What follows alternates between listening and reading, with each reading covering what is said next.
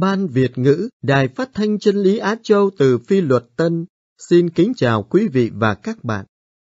Chương trình phát thanh của chúng tôi hôm nay, thứ hai, ngày 18 tháng 12 năm 2017, gồm có suy niệm lời Chúa, tin tức tôn giáo, và sau đó là bài thời sự, trình bày thư mục vụ mùa vọng năm 2017 của Đức Giám mục Giáo phận Bắc Ninh.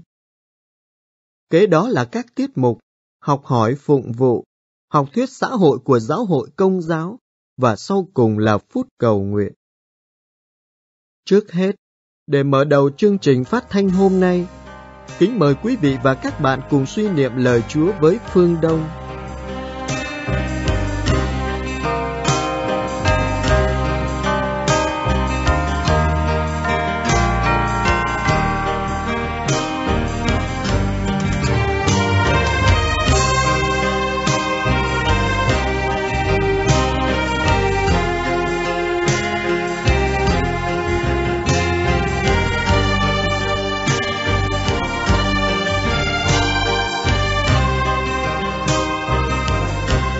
Trời cao nghe chân trần gian khấn van mưa nguồn ơn cứu chuộc đồng mương không xuôi nay đã héo hát, mong bước chân người lành tháng năm vẫn chưa phai, ghi tạc lời mình giao đính ước giờ linh thiêng ngóng trông ân tình trang chứa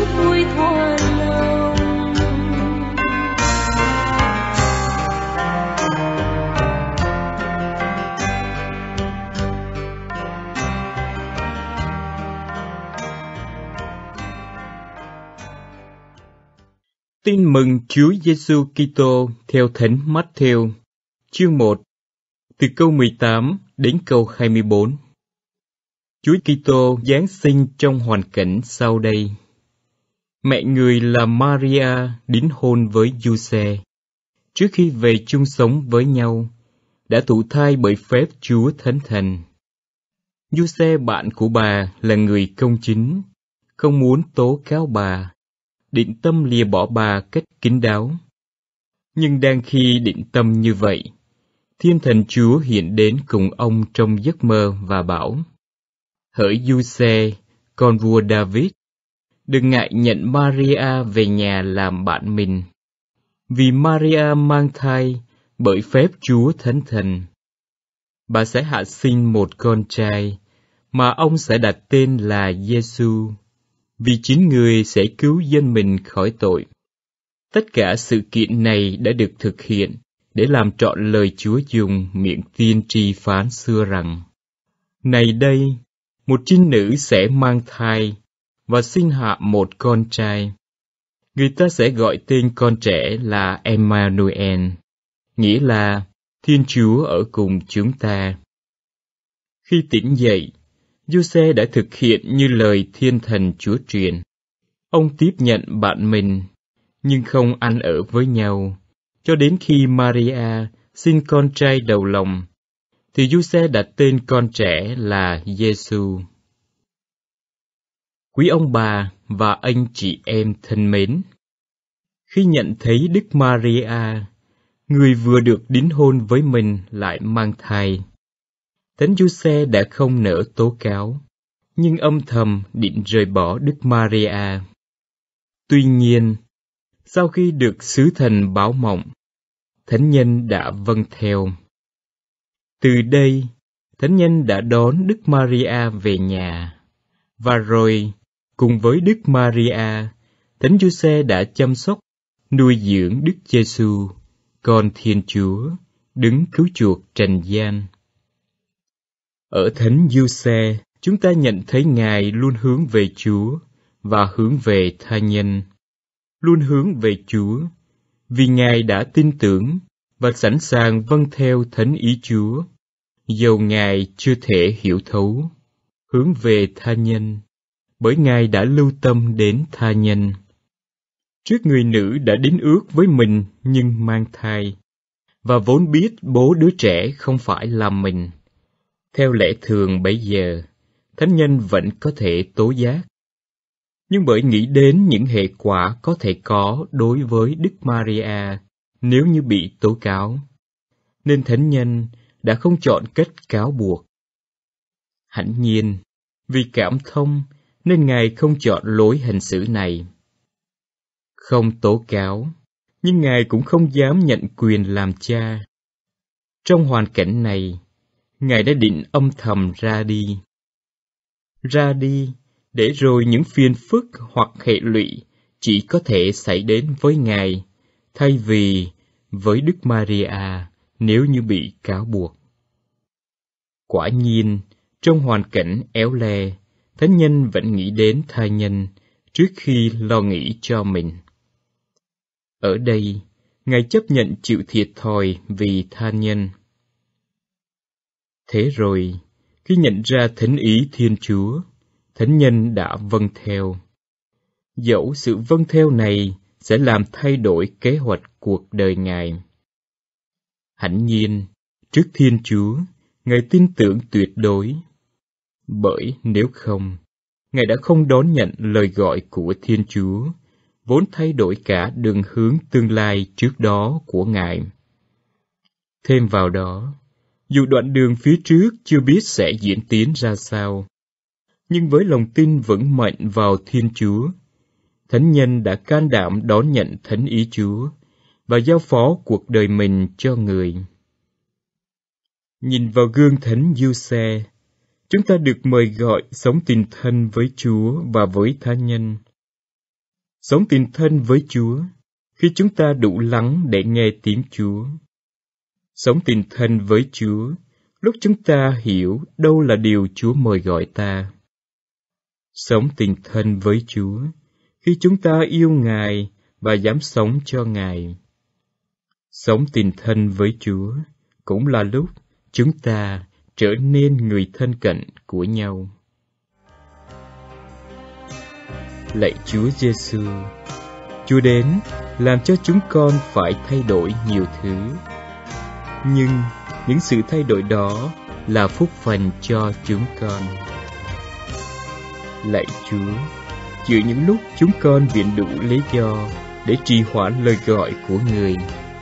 Xin cho chúng con hiểu rằng, vì yêu con, người đã hy sinh mạng sống mình cho chúng con. Amen. Trời cao nghe chân, trần gian khấn van, mưa nguồn ơn. Đồng mương không xưa nay đã héo hát, mong bước chân người lành Tháng năm vẫn chưa phai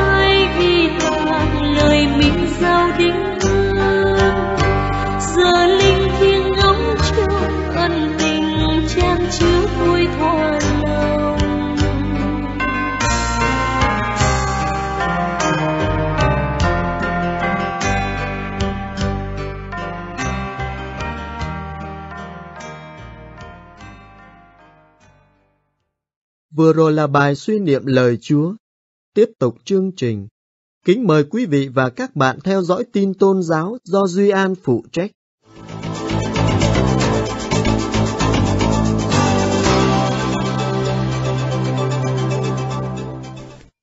Tin Vatican Chủ tịch Quốc vụ viện Truyền thông Tòa Thánh nói rằng, truyền thông Vatican sẽ mang tên Vatican News, tức là tin Vatican. Một tòa soạn duy nhất đa ngôn ngữ và đa phương tiện mang tên Tin Vatican.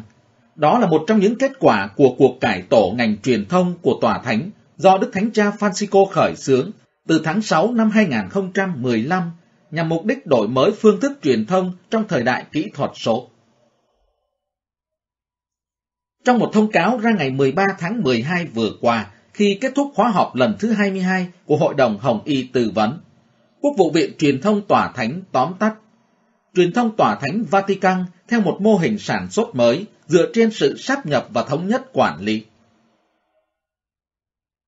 Đức ông Dario Eduardo Vigano, Chủ tịch Quốc vụ viện truyền thông tòa thánh, giải thích thêm rằng, với một logo mới và một bản sơ đồ tổ chức bằng hình, phiên bản đầu tiên của cổng thông tin mới sẽ hợp nhất đài phát thanh Vatican, kênh truyền hình CTV các trang mạng xã hội của Đức Giáo Hoàng và nhà xuất bản Vatican.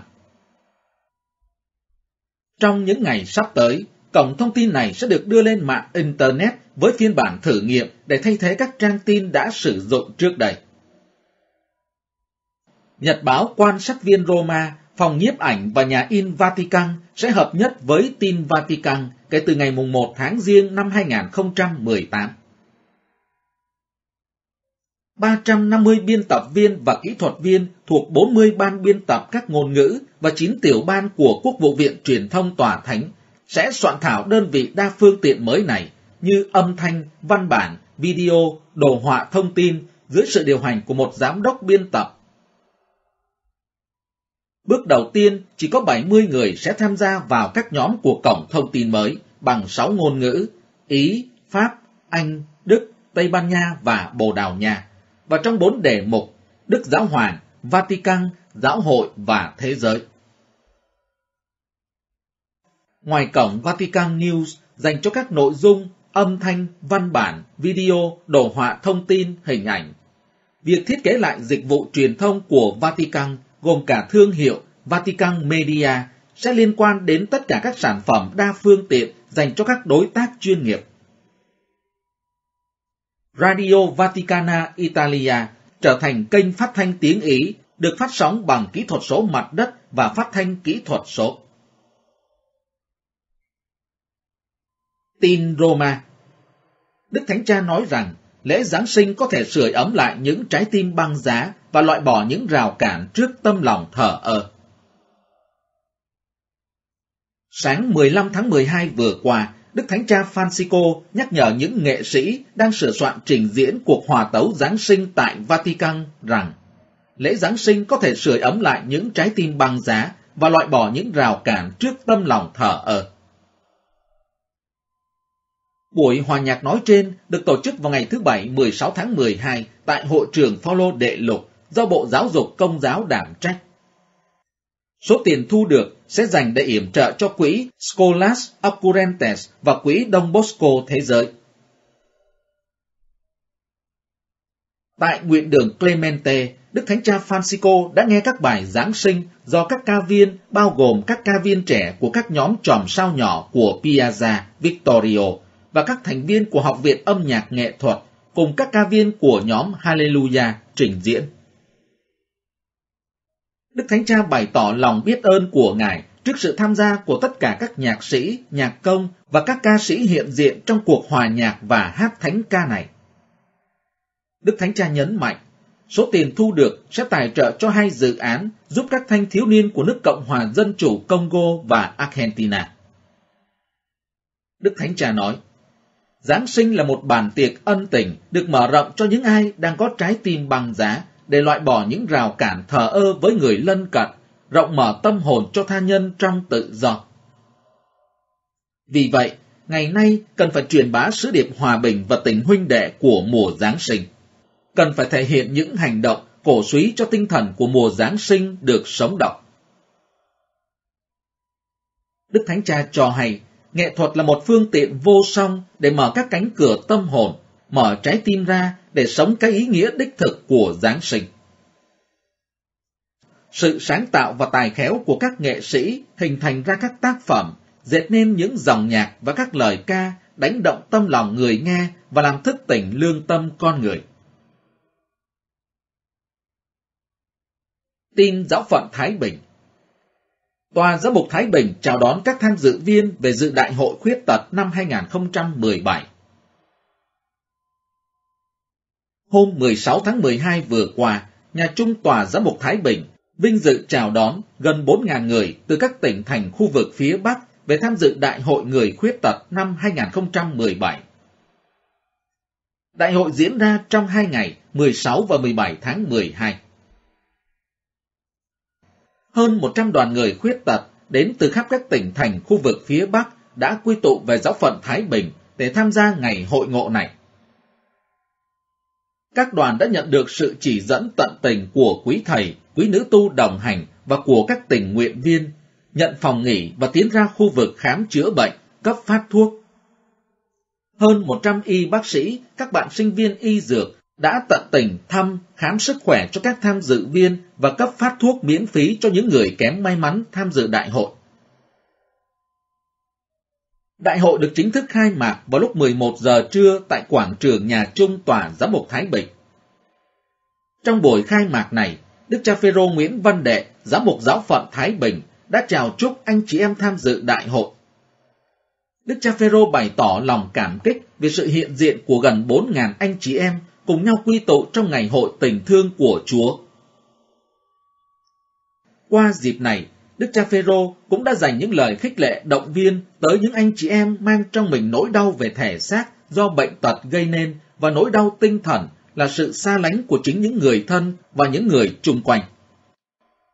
Đức cha Phêrô nói: Nhưng cũng chính những anh chị em khuyết tật lại nên gương sáng trong đời sống cho mỗi người chúng ta, dạy chúng ta biết quan tâm, yêu thương đồng loại.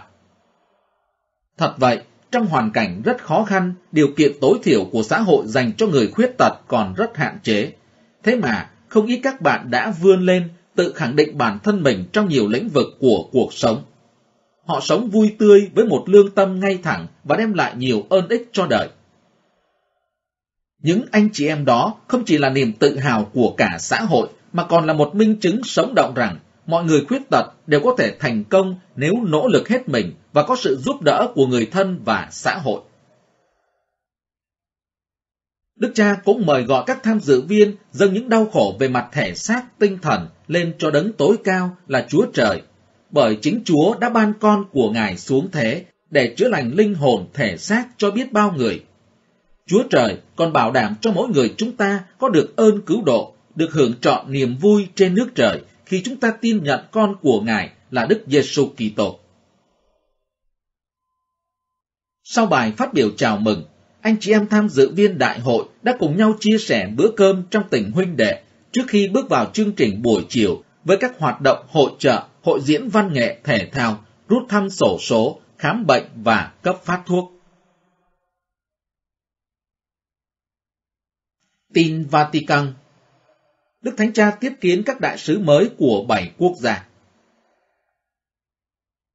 Trong buổi tiếp kiến sáng 14 tháng 12 vừa qua, dành cho bảy vị đại sứ mới cạnh tòa thánh, Đức Thánh Cha Francisco cổ võ sự đối thoại và cộng tác giữa các dân nước mặc dù có nhiều khác biệt. Các vị đại sứ mới của bảy nước đến trình ủy nhiệm thư lên Đức Thánh Cha. Đó là Yemen, New Zealand, Swaziland, Azerbaijan, Jack, Liechtenstein và Ấn Độ.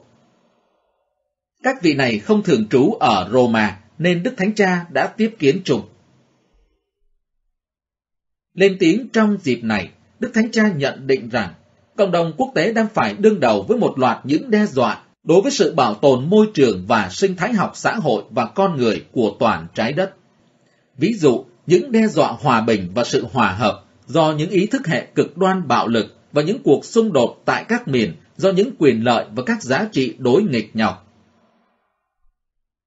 Tuy nhiên, Đức Thánh Cha nhấn mạnh, điều quan trọng là nhớ rằng sự khác biệt của gia đình nhân loại tự nó không phải là nguyên nhân gây ra những thách đố vừa nói đối với sự sống chung hòa bình.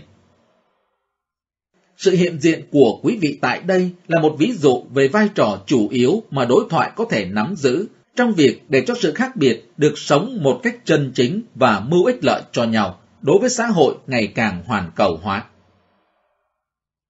Một sự đả thông tôn trọng nhau đưa tới sự cộng tác, đặc biệt trong việc tạo điều kiện cho sự hòa giải tại những nơi cần thiết. Đức Thánh Cha cũng nói đến trách nhiệm chung trong việc giáo dục giới trẻ về tầm quan trọng của các nguyên tắc nâng đỡ trật tự xã hội. Ngài nói, thông truyền gia sản quý giá này cho các con cháu chúng ta, không những bảo đảm một tương lai an bình và thịnh vượng, nhưng còn đáp ứng những đòi hỏi của công lý giữa các thế hệ với nhau và việc phát triển nhân bản toàn diện mà mỗi người nam nữ và trẻ em đều có quyền được hưởng. Tin giáo hội tại Lào Đức Thánh Cha bổ nhiệm tân đại diện tông tòa Viên Trăng Đức Thánh Cha Francisco đã bổ nhiệm Đức Hồng Y Louis Marie Linh Makenekun làm tân đại diện tông tòa thủ đô Viên Chăn của Lào, kế nhiệm Đức cha Jean Khamse Vithavong OMI 75 tuổi về hưu. Cho đến nay, Đức Hồng Y Louis Marie Linh là đại diện tông tòa Parse. Ngài thuộc tu hội Thánh Ý Thiền Chúa, năm nay 73 tuổi, thụ phong linh mục năm 1972 và làm giám mục tại Parse từ 17 năm nay. Hạt đại diện tông tòa này có 15.120 tín hữu công giáo với 6 linh mục giáo phận và một linh mục dòng. Ngày 28 tháng 6 năm nay, Đức cha Louis Marie Linh được Đức Thánh cha Francisco bổ nhiệm làm Hồng Y Tiên Khởi của giáo hội tại Lào. Hạt đại diện tông tòa Viên Trăn hiện có 15.473 tín hữu công giáo theo niên giám năm nay của tòa thánh. Tại đây có 23 giáo sứ nhưng chỉ có một linh mục giáo phận và 7 linh mục dòng. Giáo hội công giáo tại Lào hiện có khoảng 45.000 tín hữu. Tin New Delhi, Ấn Độ Giáo hội Công giáo Ấn Độ lên án việc tấn công các linh mục và chủng sinh. Giáo hội Công giáo tại Ấn Độ lên án việc tấn công hai linh mục và 30 chủng sinh ở Madhya Pradesh, những người đã bị nhóm tín hữu ấn giáo cực đoan chặn giữ.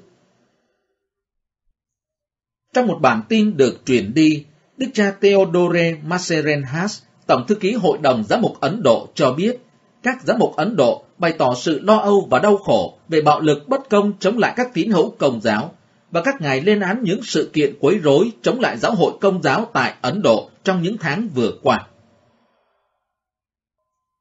Đức cha Mascarenhas than phiền về việc các linh mục và trùng sinh của Học viện Thần học Thánh Ephraim đã bị một nhóm tín hữu ấn giáo cực đoan chặn giữ trong khi họ đang thực hiện một chương trình hát thánh ca Giáng sinh là chương trình đã được thực hiện từ 30 năm qua. Đức cha nói thêm rằng, điều gây sốc hơn nữa là tám linh mục khác đến trạm cảnh sát để hỏi thăm tin tức của các linh mục và chủng sinh này cũng đã bị bắt giữ. Theo Đức cha Mascarenhas, nhóm ấn giáo cực đoan tố cáo các linh mục và chủng sinh hát thánh ca để cải đạo các tín hữu ấn giáo là điều không có chứng cứ và vô lý. Hơn nữa, sự đồng lõa của các cảnh sát thật là đáng ghê tởm và kinh khủng khi đã cầm giữ các chủng sinh và linh mục và không có phản ứng gì khi họ bị hành hung. Đức cha nói, việc lạm dụng lực lượng cảnh sát và phá vỡ an ninh công cộng là điều không thể chấp nhận được trong một nền dân chủ và trong một xã hội văn minh. Đức cha nhấn mạnh đến sự trầm trọng của sự việc khi chỉ cách đó ít ngày, trong khi chúc mừng Giáng sinh, Phó Tổng thống Ấn Độ đã khen ngợi sự đóng góp của các tín hữu công giáo cho sự phát triển của quốc gia. Đức cha nói tiếp trong thông cáo rằng, đã đến lúc cần vượt lên trên những lời nói và hứa hẹn. Bạo lực thật nguy hiểm. Đức cha kêu gọi giới lãnh đạo chính trị tái lập trật tự công cộng và hành xử cách nghiêm khắc chống lại các tội phạm làm tổn hại công việc của các lãnh đạo, những người muốn mang lại hòa bình và phát triển cho dân chúng.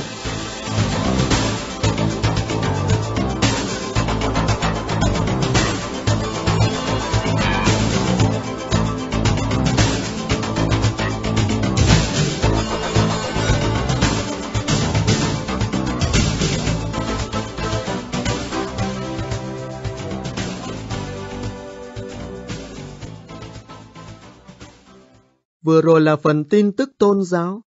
Tiếp theo đây, kính mời quý vị và các bạn theo dõi bài thời sự trình bày thư mục vụ mùa vọng năm 2017 của Đức Giám mục Giáo phận Bắc Ninh qua sự trình bày của An Lê.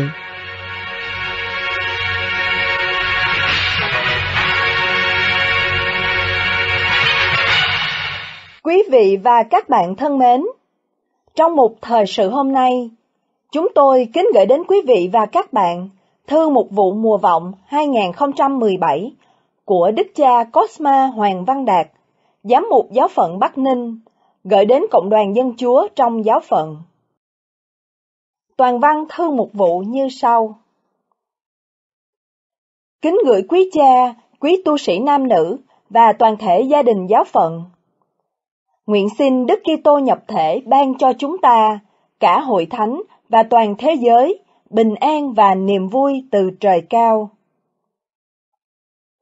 một Chúng ta lại khởi đầu một mùa vọng mới, một năm phụng vụ mới. Trước hết, chúng ta cùng cảm tạ Chúa đã cho giáo phận nói chung, các dòng tu, các xứ họ, các đoàn thể nói chung, được bình an và ngày một thăng tiến.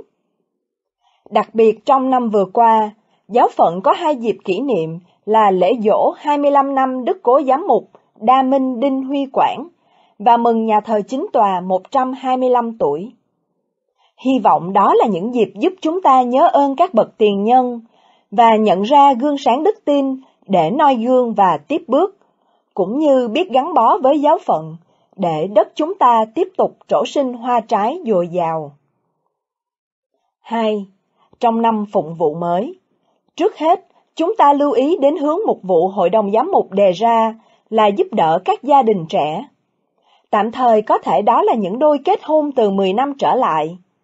Sau những hứng khởi và cảm xúc ban đầu, các đôi hôn nhân phải đối diện với nhiều vấn đề cụ thể như bổn phận, tiền bạc, con cái, họ hàng, việc làm, khó khăn và xung đột ngay trong gia đình hay với bên ngoài. Các đôi vợ chồng trẻ rất cần đến những kinh nghiệm thực tế của các bậc cha anh cũng như những nâng đỡ của bạn bè. Đặc biệt các linh mục, tu sĩ, các bậc trưởng thượng, các vị trong ban hành giáo hay trưởng hội đoàn có thể đóng vai đồng hành giúp vượt qua những khó khăn tùy mỗi trường hợp. Ban mục vụ gia đình giáo phận hay cha xứ và ban hành giáo mỗi xứ họ có thể tổ chức những buổi học hỏi, gặp gỡ, chia sẻ để giúp đỡ các gia đình trẻ. 3. Năm 2018, Giáo hội Việt Nam kỷ niệm 30 năm 117 vị tử đạo được tuyên thánh. Chúng ta tạ ơn Chúa và cầu nguyện cho cả giáo hội Việt Nam. Cách riêng, chúng ta tạ ơn Chúa vì giáo phận chúng ta có bảy vị thánh chịu tử đạo tại giáo phận, ba vị phục vụ giáo phận nhưng chịu tử đạo ở nơi khác, hai vị là con cái của giáo phận nhưng phục vụ và chịu tử đạo ở nơi khác. Xin các ngài phù hộ toàn thể giáo phận để tiếp bước các bậc tiền nhân vinh hiển. Chúng ta can đảm và quảng đại, sống các mối phúc thật của tin mừng, làm chứng cho Thiên Chúa yêu thương và cứu độ trong mọi hoàn cảnh. Đặc biệt, chúng ta cố gắng giúp người trẻ học hỏi và thể hiện đức tin qua tinh thần của Kinh Hòa Bình. Mến yêu và phụng sự Chúa trong mọi người, đem yêu thương vào nơi oán thù, đem thứ tha vào nơi lăng nhục, đem an hòa vào nơi tranh chấp, đem chân lý vào chốn lỗi lầm. Nhờ gương sáng và lời chuyển cầu của các ngài, xin cho giáo phận có được mùa bội thu trong nỗ lực loan báo tin mừng. 4. Một việc nhỏ nhưng cũng khiến chúng ta không khỏi băn khoăn. Cách đây 100 năm, vào năm 1918, các bậc tiền nhân giáo phận đã xây dựng nền nhà thờ lớn trên một hòn đảo nhỏ tại Xuân Hòa. Chắc chắn, hiện nay, chúng ta chưa thể hoàn tất công trình gian dở ấy. Chúng ta cầu nguyện để nếu thế hệ chúng ta chưa thực hiện được mong ước của các thế hệ trước, thì thế hệ sau có thể sẽ hoàn thành tốt đẹp. 5. Hiện giáo phận đang phải đối diện với nhiều vấn đề gai góc. Nhiều người trẻ do hoàn cảnh ít đến được với cộng đoàn trong thánh lễ hay học hỏi giáo lý. Một số không nhỏ người trẻ dành quá nhiều thời gian cho Internet. Không những tổn hại đến sức khỏe thể lý, đặc biệt là mắt và cột sống, mà nhiều khi ảnh hưởng rất xấu đến đời sống luân lý như bạo lực, dâm ô. Gần đây, lại có người tung những thông tin hay tổ chức những buổi thảo luận trong các xứ họ, gieo rắc những lệch lạc về đức tin và tổn hại sự hiệp thông trong hội thánh. Xin quý cha, trong vai trò mục tử, lưu ý bảo vệ đoàn chiên chúa. Chúng ta vừa cầu nguyện vừa trao đổi, để trong thư mùa chay cùng nêu lên những định hướng chung cho toàn thể giáo phận. Nguyện xin Chúa, nhờ lời cầu khẩn của Đức Mẹ Mân Côi và các thánh tử đạo Bắc Ninh, ban cho chúng ta một mùa vọng và mùa Giáng sinh dồi dào ơn thánh, để vừa tích cực đáp ứng những nhu cầu thiên liêng và mục vụ, đồng thời tìm ra những giải pháp hiệu quả cho những vấn đề có thể gây thiệt hại cho con cái Chúa, đặc biệt cho người trẻ. Bắc Ninh, ngày mùng 2 tháng 12 năm 2017, Cosma Hoàng Văn Đạt, dòng tên, Giám mục Bắc Ninh. Quý vị và các bạn thân mến, vừa rồi là bài thời sự trình bày toàn văn thư một vụ mùa vọng năm 2017 của Đức cha Cosma Hoàng Văn Đạt, Giám mục Giáo phận Bắc Ninh, gửi đến Cộng đoàn Dân Chúa trong giáo phận. Một thời sự hôm nay xin kết thúc nơi đây. Hẹn gặp lại quý vị và các bạn.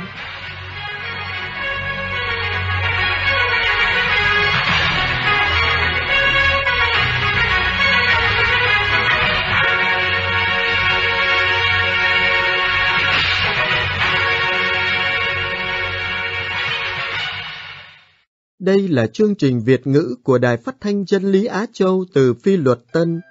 Tiếp tục chương trình. Kính mời quý vị và các bạn theo dõi chuyên mục Học hỏi phụng vụ do An Tôn phụ trách.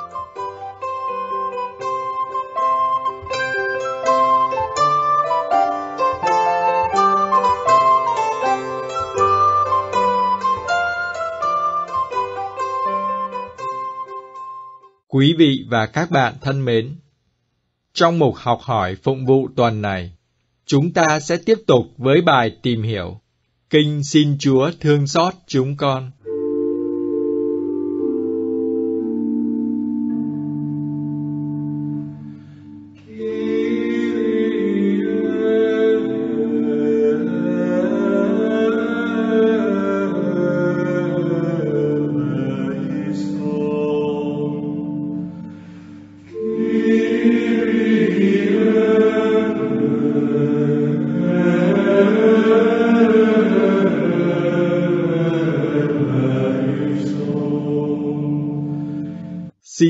Thương xót chúng con. Trong khi chủ yếu diễn tả lòng thống hối, kinh thương xót cũng có thể được xem như một lời khẩn nguyện. Một kinh nguyện tiêu biểu cho tiếng kêu than của dân Chúa, xin người trợ giúp trong cuộc sống. Chẳng hạn, vào thế kỷ thứ tư, lời nguyện xin Chúa thương xót chúng con, Kyrie eleison trong tiếng Hy Lạp, đã là câu đáp của các Kitô hữu Hy Lạp cho các lời cầu xin trong phụng vụ. Quan niệm trên phản chiếu cách sử dụng của Tân ước đối với thành ngữ này.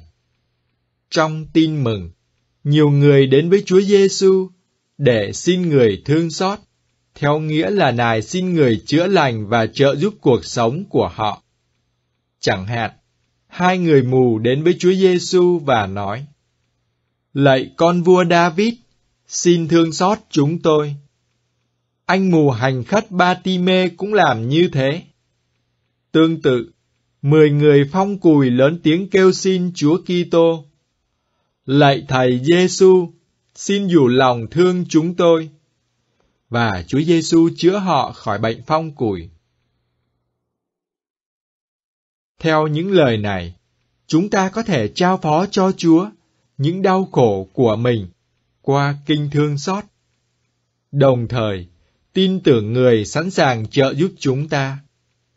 Những đau khổ này bao gồm bệnh tật thể lý, thử thách của bản thân và ngay cả sự đuôi mù tâm linh, yếu đuối và tội lỗi. Giống như những người đuôi mù què quạt đến với Chúa Giêsu để xin người giúp đỡ chúng ta cũng đến tham dự thánh lễ với những đau khổ và thử thách của bản thân, với sự bất lực không thể thay đổi, tức là chứng bại liệt tâm linh và đạo đức của mình. Chúng ta kết hợp với vô số linh hồn đau khổ, từ thời Chúa Giêsu cho đến nay, là những người đã tìm được nguồn an ủi và sức mạnh khi kêu lên, xin Chúa thương xót chúng con.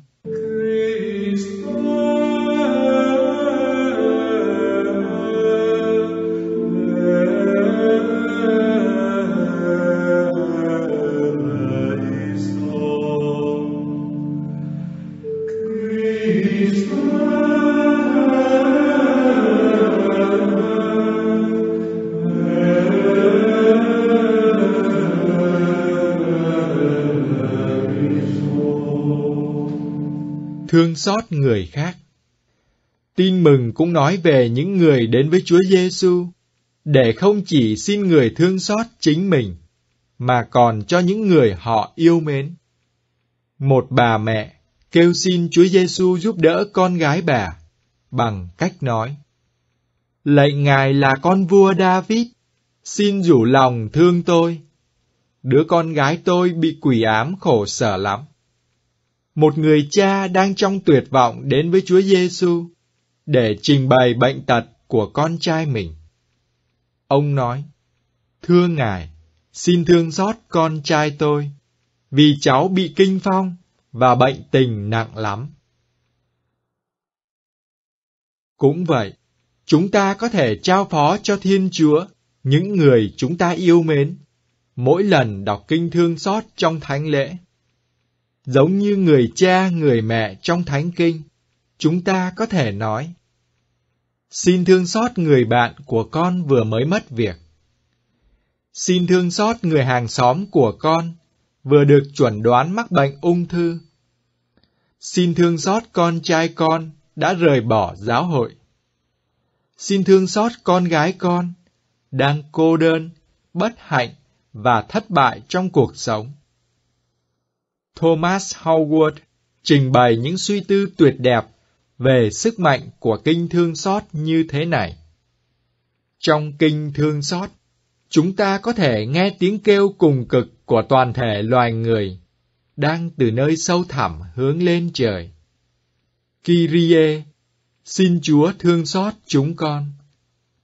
Tiếng kêu phát ra từ những bà quả, từ tất cả những đứa trẻ bị tước đoạt và bị hành hung, từ những người tàn tật, những tù nhân và những kẻ lưu vong, từ những người trên giường bệnh, và ngay cả từ thú vật bị tổn thương.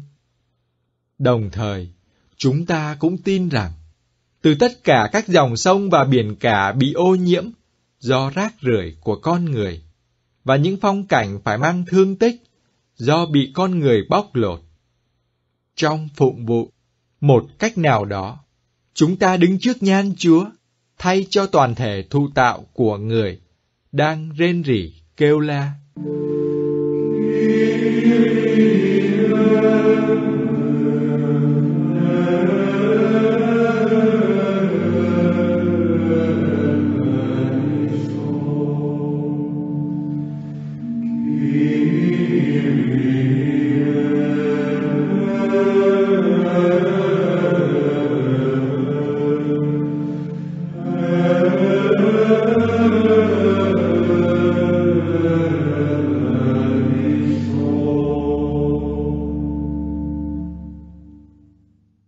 Sao phụng vụ lại cầu khẩn kinh thương xót bằng tiếng Hy Lạp?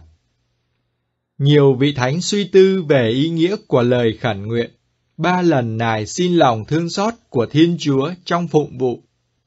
Một số vị quan niệm, kinh này là lời kêu xin Chúa Giêsu như là người Anh, đấng cứu độ và Thiên Chúa chúng ta. Trong khi những vị khác cho rằng, kinh này quy chiếu về Chúa Ba Ngôi, theo nghĩa là chúng ta đang kêu xin mỗi ngôi vị Thiên Chúa rủ lòng thương xót trong mỗi lời kêu xin. Theo truyền thống, kinh này được đọc bằng tiếng Hy Lạp, Kyrie eleison. Thánh Thomas Aquino lưu ý rằng, tiếng Hy Lạp chỉ là một trong ba ngôn ngữ dùng trong phụng vụ. Tiếng Do Thái và Latin cũng được sử dụng, theo Thánh Thomas Aquino, ba ngôn ngữ phụng vụ này phản chiếu cả ba ngôn ngữ cùng được viết vào tấm bảng trên thập giá Chúa Giêsu. Thánh Alberto cả đã đưa ra cách giải thích khác cho lý do tại sao lời cầu xin lòng thương xót của Thiên Chúa được soạn bằng tiếng Hy Lạp thay vì bằng tiếng Latin. Ngôn ngữ đã được sử dụng vài nơi khác trong phụng vụ.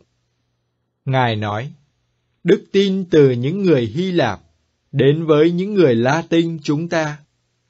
Thánh Phêrô và Thánh Phaolô từ những người Hy Lạp đến với những người Latin và từ các ngài ơn cứu độ đến với chúng ta. Và để nhớ rằng ân sủng này đến với chúng ta từ những người Hy Lạp, chúng ta duy trì cho đến bây giờ mọi lời và mọi âm tiết mà lần đầu tiên dân chúng sử dụng để cầu khẩn lòng thương xót của Chúa. Do lòng kính trọng này đối với cha ông, nên các truyền thống do các ngài đã thiết lập phải được chúng ta bước theo.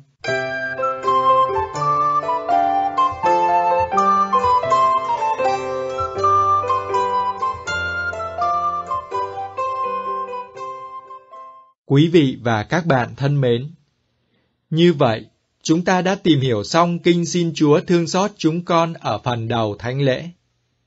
Bài trình bày được biên soạn dựa trên tập sách Tìm hiểu thánh lễ của tác giả Edward Sri qua bản dịch Việt ngữ của tu sĩ du xe Trần Công Thượng, dòng Đa Minh. Mục học hỏi phụng vụ tuần này xin khép lại đây. Hẹn gặp lại quý vị và các bạn.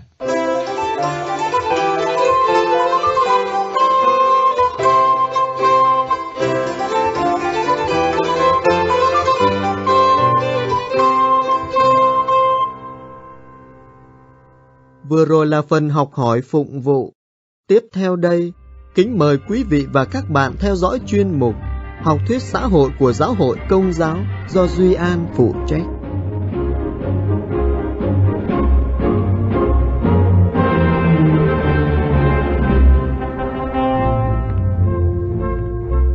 Quý vị và các bạn thân mến, trong buổi phát vừa rồi, chúng ta đã tìm hiểu vấn đề làm sao để đối phó với chiến tranh và khủng bố. Hôm nay, mời quý vị và các bạn chúng ta cùng bàn về việc xây dựng hòa bình trên thế giới với hai ý chính: bảo vệ hòa bình và bảo vệ người vô tội.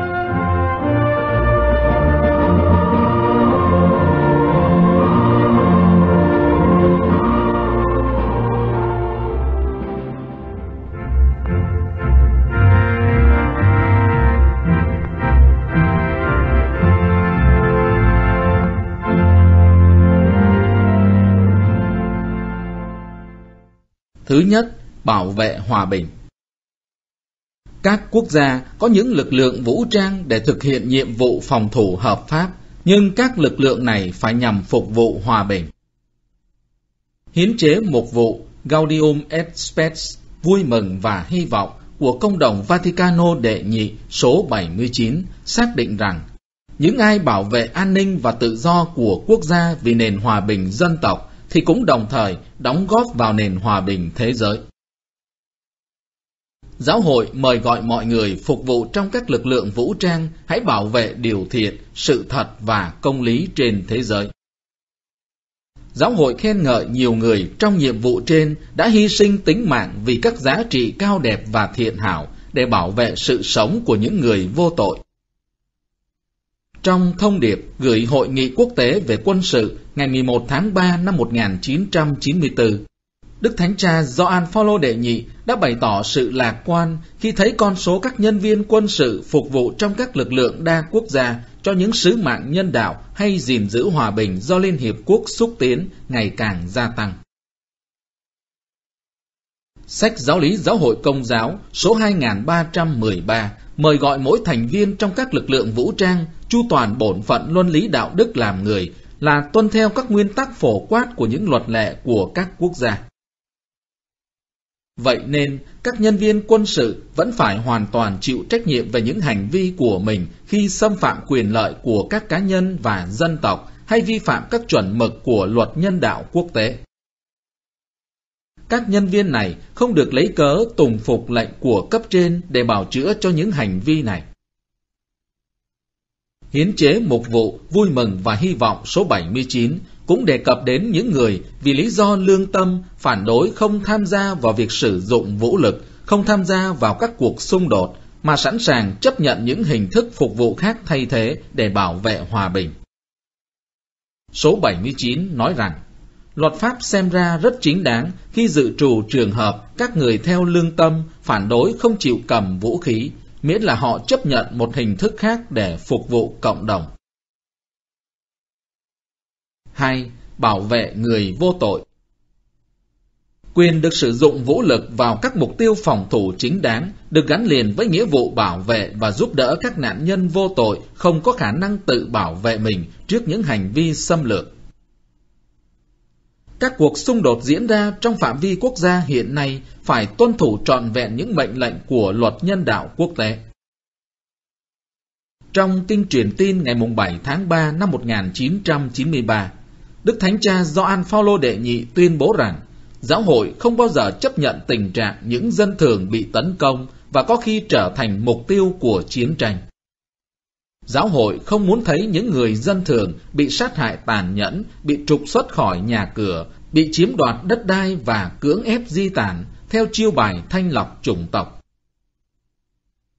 Nếu không may có những tình cảnh ấy, giáo hội lại kêu mời các cá nhân và tổ chức xã hội, tôn giáo thực hiện viện trợ nhân đạo trực tiếp đến với những người dân này, nhưng không được dùng những viện trợ ấy để gây áp lực cho những người dân ấy, phải đặt lợi ích của con người lên trên lợi ích của các bên tham gia xung đột. Nguyên tắc nhân đạo được khắc ghi trong lương tâm mỗi người và mọi dân tộc, chỉ ra bổn phận phải bảo vệ dân thường khỏi những hậu quả của chiến tranh. Tại buổi triều yết chung ngày 11 tháng 8 năm 1999, Đức Thánh Cha Gioan Phaolô đệ nhị đã nhắn nhủ rằng việc bảo vệ tối thiểu phẩm giá của mỗi người tuy đã được luật nhân đạo quốc tế bảo đảm, nhưng vẫn rất hay bị vi phạm nhân danh những yêu cầu về chính trị hay quân sự là những điều lẽ ra không bao giờ được đặt cao hơn giá trị của con người.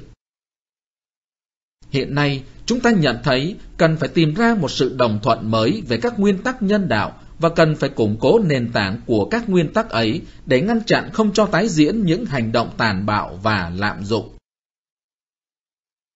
Giáo hội quan tâm đến những người tị nạn chiến tranh phải chạy trốn khỏi những nơi họ sinh sống để tìm ẩn náu tại các nước khác. Giáo hội muốn gần gũi họ để chăm sóc mục vụ, hỗ trợ vật chất và dấn thân để bảo vệ nhân phẩm của họ.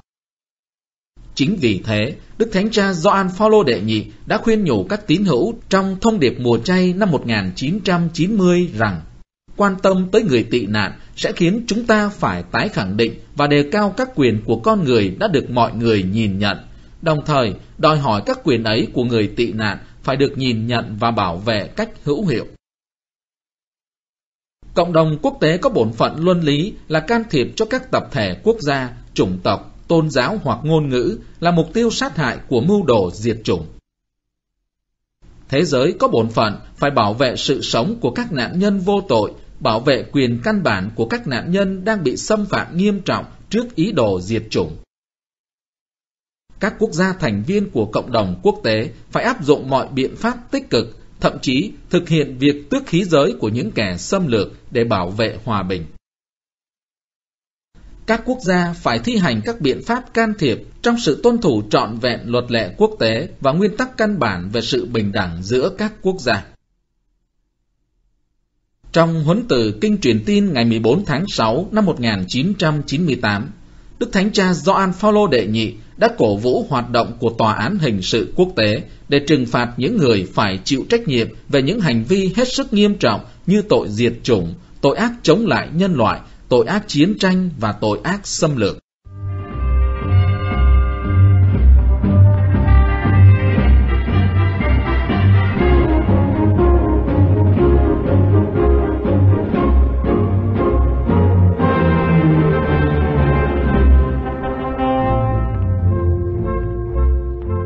Quý vị và các bạn thân mến. Chuyên mục tìm hiểu học thuyết xã hội của Giáo hội Công giáo tuần này xin kết thúc nơi đây.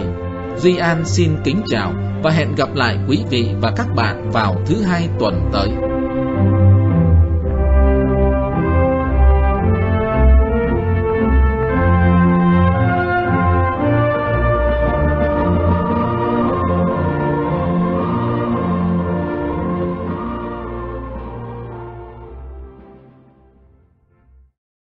Và để kết thúc chương trình phát thanh này, kính mời quý vị và các bạn cùng hiệp ý với Bình Minh trong những phút cầu nguyện.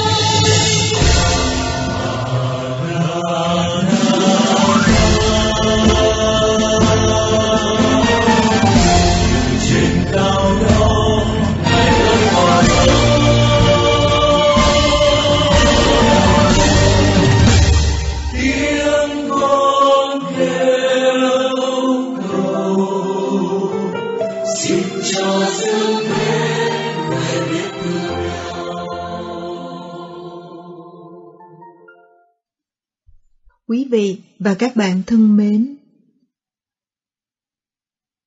một người mẹ mệt mỏi trở về từ cửa hàng sau một ngày làm việc dài dẳng. Bà ta kéo lê túi hàng trên sàn bếp. Đang chờ bà là đứa con trai tên David lên 8 tuổi. Nó đang lo lắng kể lại những gì mà em nó đã làm ở nhà. Lúc con đang chơi ngoài sân, còn bố đang gọi điện thoại, thì Tom lấy bút chì màu viết lên tường, lên chính tờ giấy dán tường mới mà mẹ dán trong phòng làm việc ấy. Con đã nói với nó là mẹ sẽ bực mình. Nghe thế, người mẹ than thở rồi nhướng lông mày nói, bây giờ nó ở đâu? Thế rồi bà bỏ hết hàng ở đó, sải bước vào phòng của đứa con trai nhỏ, nơi nó đang trốn. Bà gọi cả tên họ của đứa bé, mà ở các nước phương Tây, khi gọi cả tên lẫn họ như thế này là thường thể hiện sự tức giận. Khi bà bước vào phòng, đứa bé run lên vì sợ. Nó biết là sắp có chuyện gì ghê gớm lắm. Trong 10 phút, người mẹ nguyền rủa con là bà đã phải tiết kiệm như thế nào và giấy dán tường đắt ra sao. Sau khi rên rỉ về những việc phải làm để sửa lại tờ giấy, người mẹ kết tội đứa con là thiếu quan tâm tới người khác. Càng mắng mỏ con, bà càng thấy bực mình. Cuối cùng, bà ra khỏi phòng con và cảm thấy cáo đến phát điên. Người mẹ chạy vào phòng làm việc để xác minh nỗi lo lắng của mình. Nhưng khi nhìn bức tường, đôi mắt bà tràn ngập nước mắt. Những gì bà đọc được như một mũi tên xuyên qua tâm hồn người mẹ. Dòng chữ viết, con yêu mẹ, được viền bằng một trái tim. Quý vị và các bạn thân mến, không phải lúc nào chúng ta cũng có thể được hài lòng vì những biểu hiện yêu thương của người thân đối với mình nhưng điều đó không có nghĩa là họ không dâng hiến tình yêu với tất cả sự chân tình họ muốn dành trao cho chúng ta. Nhưng với cái nhìn hạn hẹp, với những đòi hỏi thỏa mãn riêng tư, cũng như người mẹ trong câu chuyện trên, có thể rất nhiều lần trong cuộc đời chúng ta đã phá vỡ những mối quan hệ tình cảm với người thân chỉ vì những điều tốt đẹp ấy không được biểu hiện theo cái cách mà chúng ta mong đợi. Chúng ta xem nhẹ những biểu hiện tốt đẹp của người khác dành cho mình chỉ vì chúng ta không nhận được nơi họ sự yêu thương theo như ước muốn, theo như suy nghĩ của mình. Để rồi có một ngày, chúng ta đau đớn nhận ra giá trị lớn lao của những người thân mà cuộc đời đã dành cho ta khi họ không còn cơ hội sống bên cạnh chúng ta nữa. Giáng sinh là ngày Thiên Chúa ban cho nhân loại món quà vô giá của thiên đàng, đó là Chúa cứu thế. Trong đêm Chúa Giáng sinh, thiên thần đã hiện xuống loan báo cho các mục đồng rằng Đừng sợ chi, vì này ta báo cho các ngươi một tin lành, ấy là hôm nay tại thành David, Chúa cứu thế đã sinh ra. Chúa cứu thế là món quà mà Thiên Chúa hứa ban cho nhân loại từ mấy ngàn năm trước. Ngày Chúa cứu thế Giáng sinh là ngày nhân loại nhận được món quà quý giá và cần thiết đó. Tuy nhiên, mỗi chúng ta có thật sự nhận được món quà của Thiên Chúa hay không là tùy vào thái độ của chúng ta có bằng lòng tiếp nhận Chúa cứu thế và mời Ngài ngự vào làm chủ cuộc đời của chúng ta hay không. Lạy Chúa, xin cho chúng con nhận ra những thiện chí và lòng tốt của người khác cho dù nó được chứa đựng dưới những hình thức không như chúng con mong ước. Và xin cho chúng con sống mùa vọng này với tâm tình sốt sắng, để chúng con nhận ra sự quý giá, vô ngần, vô lượng của món quà mà Thiên Chúa ban cho chúng con là Chúa Hài Đồng Giêsu. Amen. Trong lúc tươi vui bình an, xin tạ ơn Ngài muôn tiếng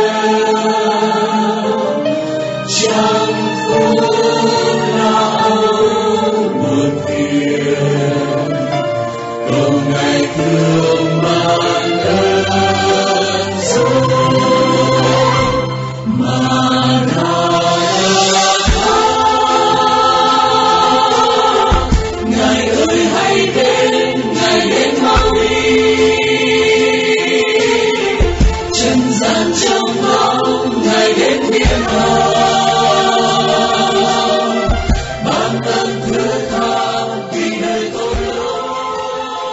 Trình phát thanh lúc 8 giờ 30 phút sáng hôm nay xin được phép kết thúc nơi đây.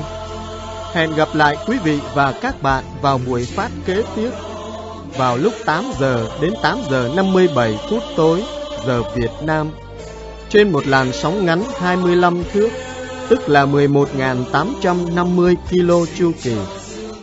Nguyện xin Thiên Chúa ban muôn phúc lành cho quý vị và các bạn.